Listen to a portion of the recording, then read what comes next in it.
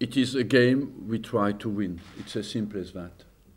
And uh, because I think you can only approach football like that. You cannot go into the game and think, uh, let's be 90% and make the difference at home. It doesn't work like that. Uh, we need to be fully focused and try to win the game.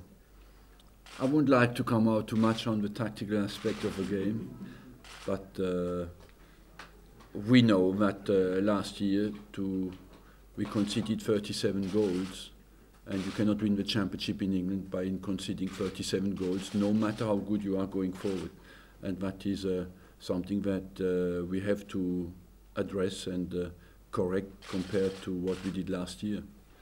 Well, uh, but uh, yes, the pressure, I, I, still feel there is a high pressure on us to perform because it's a, uh, a massive game for us. But on the other hand, you want games with that kind of pressure and you want an opportunity to show how good you are. We have another opportunity to show we can gain more respect do we perform against a team like Celtic because still people expect us to have a uh, very difficult game tomorrow, but I'm sure uh, Celtic will try to make it very hard for us. But we can as well, on the other hand, show how good we are.